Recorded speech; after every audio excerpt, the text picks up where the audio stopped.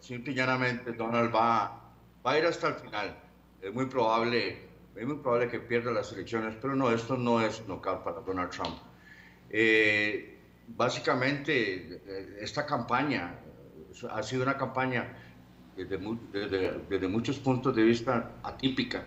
Eh, no se han enfocado en, en, asuntos, en temas realmente de fondo, eh, como por ejemplo la, la, la, reforma fiscal que se viene ahora en febrero. No se han enfocado en, en la posición de los Estados Unidos en el cercano Medio Oriente, no han enfocado la posición de los Estados Unidos en el mar del sur de China, no se han enfocado en temas específicos eh, de, política interna en los Estados Unidos, se han enfocado más que todo en chismes, en habladurías. Realmente es decepcionante. La, campaña política de los Estados Unidos ha sido decepcionante. Eh, si ustedes eh, ponen atención a los, a los debates que se han dado entre este par de candidatos, se demuestra fehacientemente la mediocridad a la que ha llegado la política electoral estadounidense en esta campaña.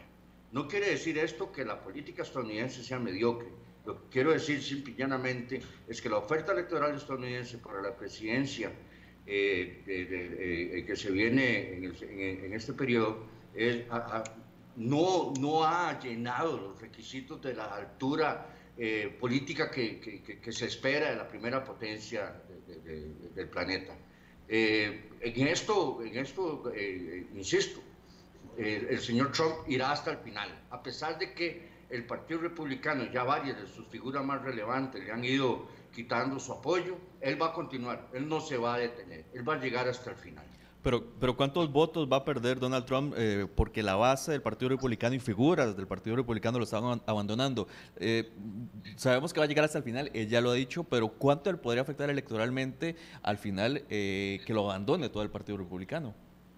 es difícil determinar eso, porque vea, miren, en este momento las recientes, las recientes este, encuestas ha dicho que un 19% del, del, voto hispano lo apoya. O sea, entendámonos, una cuestión es lo que nos dicen las encuestas y otra cosa es lo que al final de cuentas va a resultar del proceso electoral.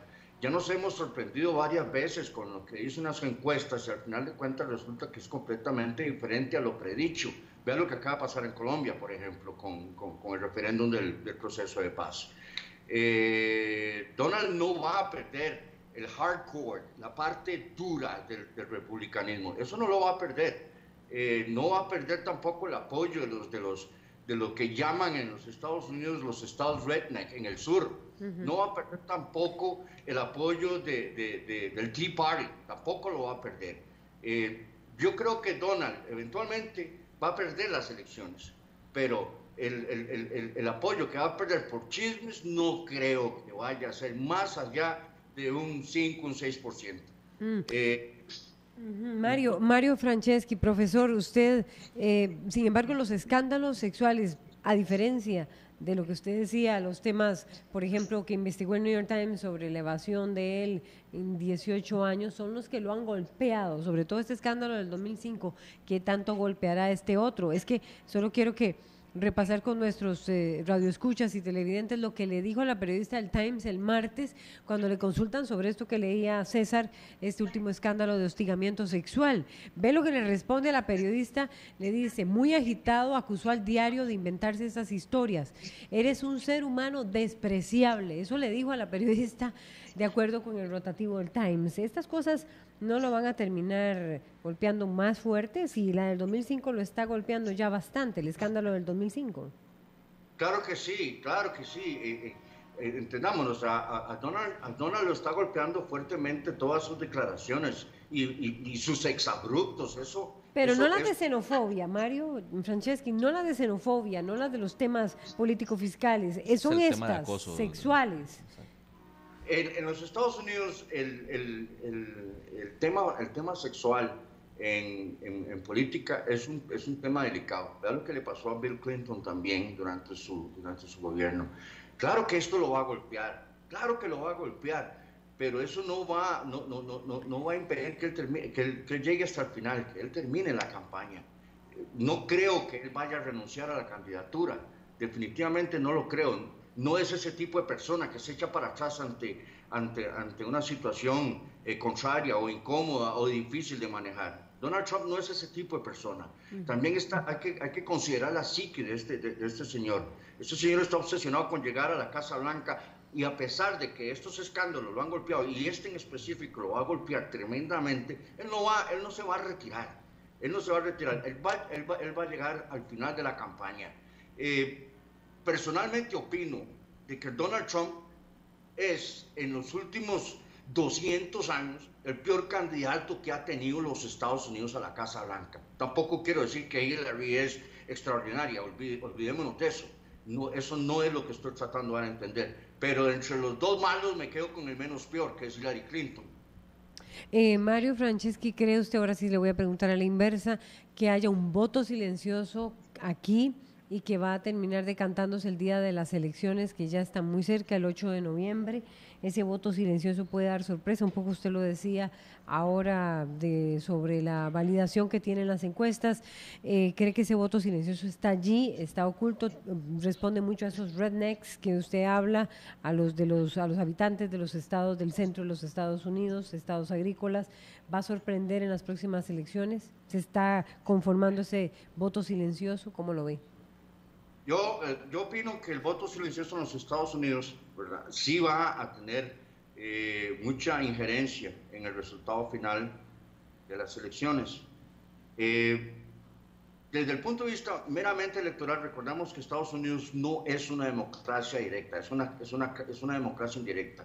Hay que ganar mínimo 270 votos electorales para alcanzar la presidencia. En estos momentos Hillary tiene, un, tiene asegurado el voto de los, de, los, de, los, de los estados más poblados de la, de, la Unión, entre ellos California, por ejemplo, entre ellos Nueva York. Eh, sí creo que en el, en el, centro y en el sur de los Estados Unidos, eh, Clinton, eh, perdón, este, Donald Trump va a, tener, va a tener muchos votos a favor, pero eso no le va a dar, el voto silencioso no le va a dar la, victoria a, Donald Trump. Yo no creo que en estas elecciones estadounidenses se vaya a dar una sorpresa eh, eh, en contra de las estadísticas. Yo creo que las, perdón, las, las, encuestas, yo creo que las encuestas están, están marcando una pauta que al final, en el, 8 de noviembre, va a, va a, dar, como resultado que Hillary Clinton alcance la, la casa presidencial, eh, la Casa Blanca.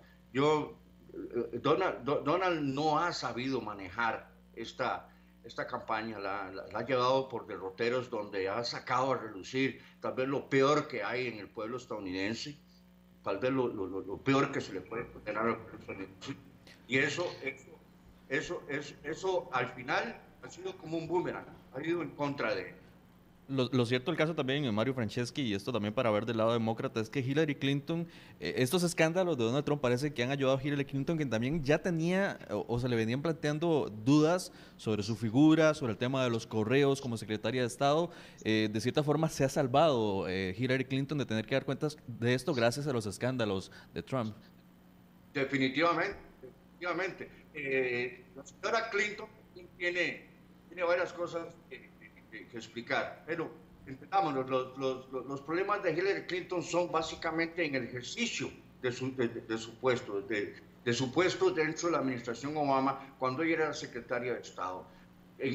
usted al, al, estar en el ejercicio del poder puede cometer errores, eso, eso, eso es ineludible.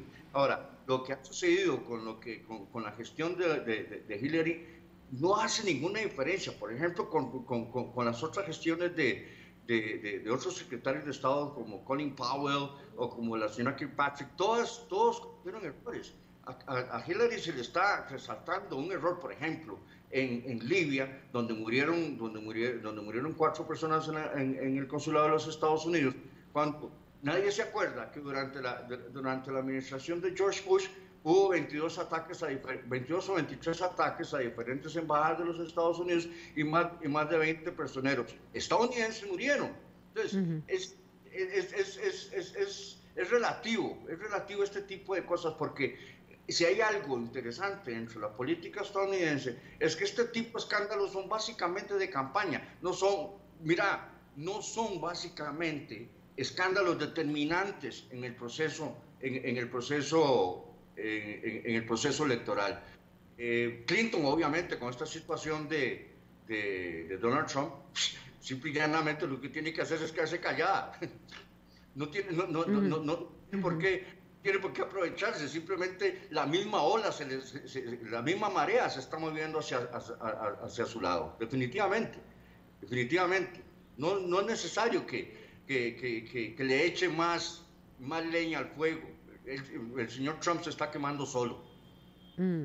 Y ahí parece que hay amenazas hacia el New York Times porque dice el artículo eh, sobre el cual estamos informando del escándalo con estas mujeres, que Trump, que su vocero dijo que es peligroso que el New York Times lance una difamación completamente falsa. Interesante eso, Mario Franceschi. Te agradecemos. No sé, ¿querés decir algo último? Eh, no, este, mire, en los Estados Unidos este tipo de difamación, si es que es una difamación, claro, Trump tiene que probarlo. es al revés. el escándalo ya se le hizo, se le hizo. Exacto. Muchas gracias, profesor Franceschi, por acompañarnos esta mañana vía Skype. Y bueno, sí, es que es diferente. Allá tienen que demostrar